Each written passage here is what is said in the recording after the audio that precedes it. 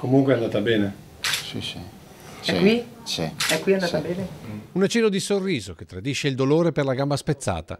La consapevolezza che poteva finire peggio, a cui fa eco la moglie, ancora in apprensione per quanto accaduto la notte scorsa, e che il brigadiere Maurizio Biasin, 52 anni, con figli e nipoti, racconta così, con un fil di voce. Davanti a lui il comandante provinciale dell'Arma dei Carabinieri e il presidente della provincia, che oggi pomeriggio si sono recati in visita al Cafoncello, poco prima del suo trasferimento all'ospedale di Castelfranco. Non volevo invadere la... la... No, proprio, Brigadiere è un guerriero, questo è uno dei più tosti che abbiamo. eh. Eh, me, l'ha detto È proprio, è proprio, proprio lui che, che, insomma, quello che eh, si vede anche fisicamente c'è. Però, Però anche te ti è andato- tocca. eh, non è andato a buon fine. Eh, vabbè dai. C'è stato un attimo di confusione, sono scappati. Eh, uno è stato preso subito, l'altro abbiamo cercato di bloccarlo e la macchina, ha visto la macchina, la macchina mi ha centrato.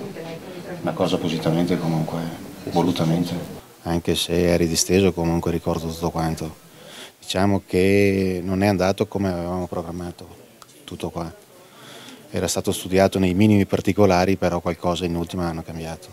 Però dai, alla fine, alla fine è portato a casa. Un risultato partito da lontano, Eravamo partiti da un nulla, da un nulla poi l'hai sviluppato e nel giro di qualche settimana siamo, siamo raggiunti a questi.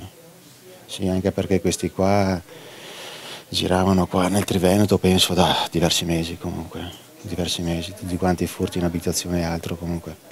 Torno a dire, guarda, l'importante comunque alla fine è, è portare a casa e questo qua è successo, perciò Anche in nome di tutti quelli che subiscono furti ogni giorno. Ma è giusto anche per loro comunque, eh. tu calcola che già ieri sera comunque quando li abbiamo fermati mh, erano già risaliti a due o tre proprietari che avevano subito il furto. Già là la gioia dei proprietari di vedere le cose proprie che sono state trasportate penso che sia il massimo. Ora per il presidente Muraro l'importante è che i responsabili non tornino subito in libertà. Mi auguro che quei delinquenti che adesso sono in carcere rimangano per parecchio tempo, perché non è pensabile che questi uomini rischiano la propria vita e poi magari per le leggi nazionali questi criminali dopo due giorni o tre giorni escono.